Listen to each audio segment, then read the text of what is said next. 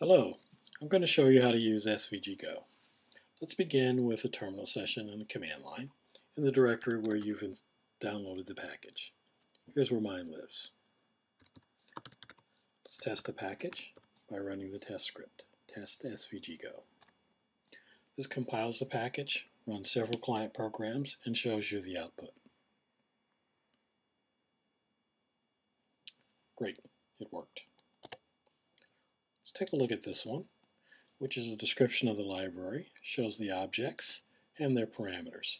Typically you'll start with coordinates and dimensions and any other parameters that are required. Let's write some code. Package also comes with a script called newsvg, which gives you a, a nice boilerplate to begin. Let's describe it from top to bottom. You have your typical Go program with a package main. We import our objects. We're going to need OS so that we can tell it where to go, where to uh, place our output. Width and height are the typical variables for describing the dimensions of our canvas. Let's begin it, and we're going to write it to standard out. This background function is a convenience function that uh, creates a rectangle the size of our screen that um, gives us a nice color to begin with. In main, we're going to start with the width and a height. We'll start with a white background. Your code goes here, obviously. And then we'll end it with a grid so that we can see um, our coordinate system. And then finally, we end the SVG document. Right. Let's build it.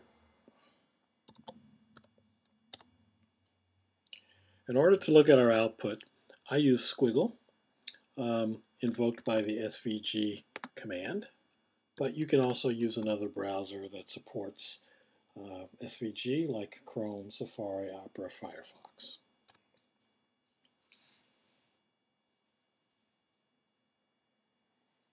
All right, we have a bare naked grid. Let's add some code.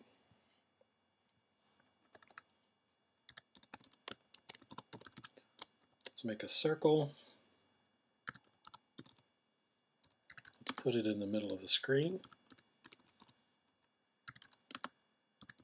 And let's make it the size of the screen.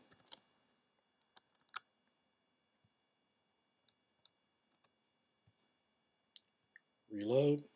Boom, it worked. Let's put the code in uh, a loop.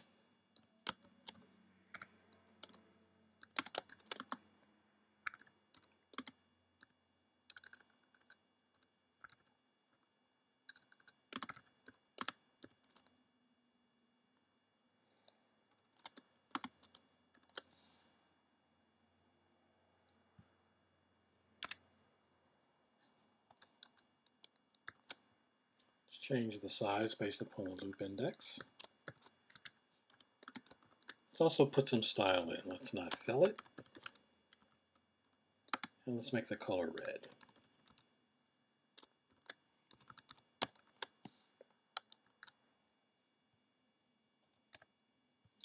Right, rebuild, reload, that worked. Let's change it into a function. Call it rings.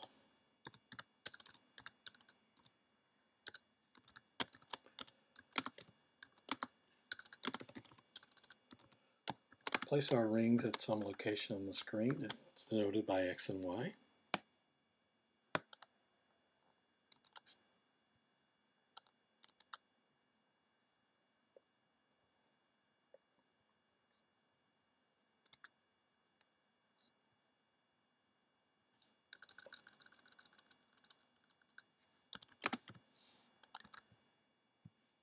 do the same dance. Let's call it.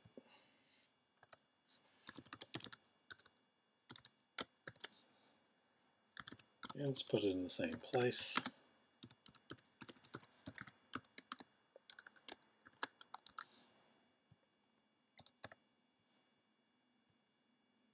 That worked.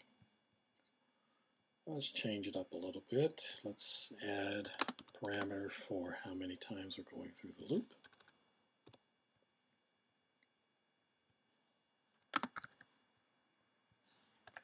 And for good measure, let's call it someplace else. Let's put it in the origin and we'll do 20.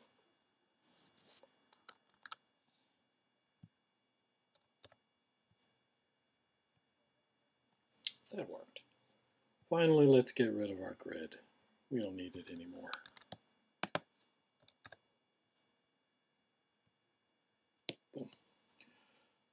Now let's say we want to change our background.